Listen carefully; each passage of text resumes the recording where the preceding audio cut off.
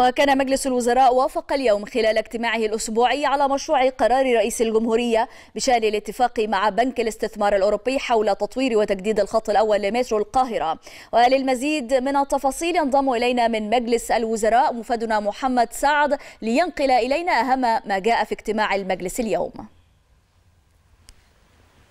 أرحب بكم من داخل مجلس الوزراء. بالفعل ترأس الدكتور مصطفى مدبولي رئيس الوزراء ووزير الإسكان اجتماع الأسبوع لمجلس الوزراء وذلك لمناقشة عدد من الملفات الاجتماعية وأيضا الملفات الاقتصادية.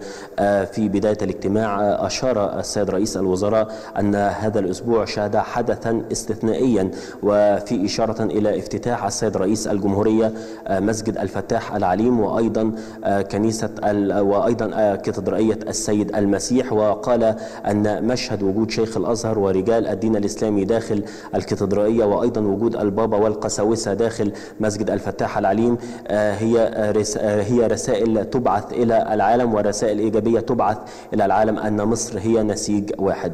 على الجانب الآخر كان هناك عدد من البروتوكولات. البروتوكول الأول كان بين وزارة الاستثمار والري من جانب وعلى الجانب الآخر الاتحاد الأوروبي.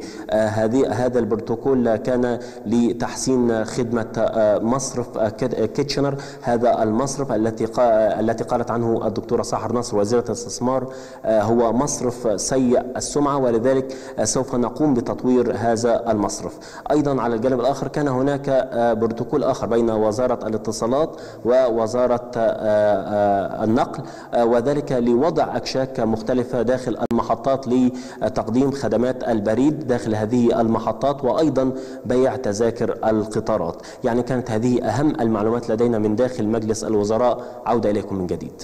زميل محمد سعد من مجلس الوزراء شكرا جزيلا لك.